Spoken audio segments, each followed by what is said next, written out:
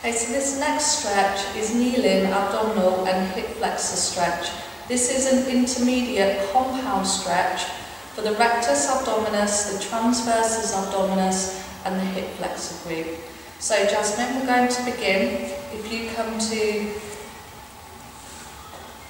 a nice lunge position, from here your trailing leg is going to go behind you and then you'll gently going to push your hips forward. So with your breathing, so breathe in and breathe out to bring the hips forward.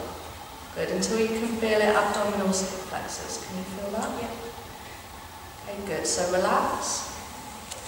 You would hold this for 30 seconds, two to three sets for best results. But just remember, always stretch when your muscles are warm after cardio or weights and never stretch your muscles when they're cold.